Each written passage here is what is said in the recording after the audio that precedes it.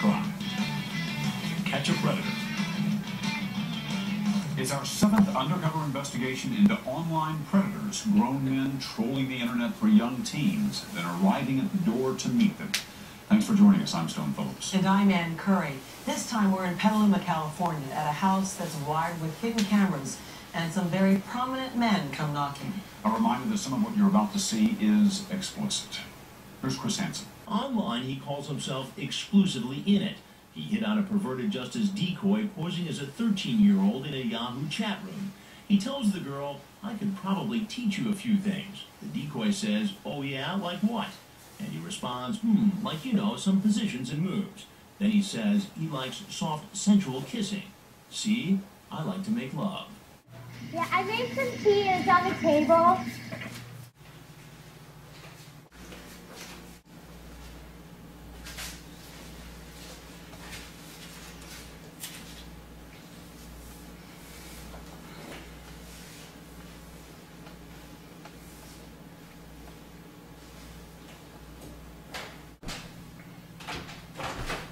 Man, how you doing?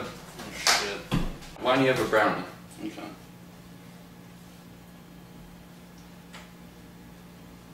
Real good brownies. Mm, Can I ask you some questions? I finish it. Go ahead, finish it. Finish the goddamn brownie. So what'd you come here to do? Not done. Not done. Pretty good brownies, aren't they? Yep. Yeah. Probably just gonna share them with Anne. probably bake. Yeah, just, um, mhm. Now how how old do you think Anne is?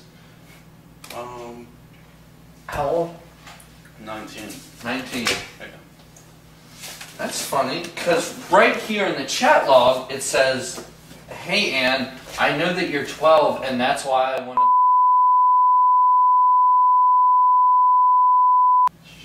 I didn't do it. Were you coming here to have sex with her? No. So you're telling me you just came here to talk. What, what were you gonna talk about? Um, What, were you, what, were you, what if you're just coming here to talk after you specifically say I'm not coming to talk? What you're just coming over just to say hi and you take off your shirt? Is that how you say hello? What, what were you coming to talk about, man? I don't know. Her parents called me and told me to come babysit. Oh, really? Because you say right here, if I get busted, my excuse is going to be her parents called me and asked me to babysit. But I'll be your babysitter.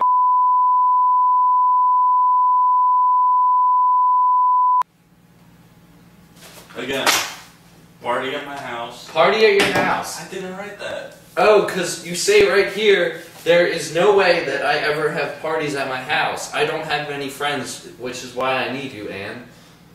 How do you, how do you explain that one? Take a brownie, man. Okay.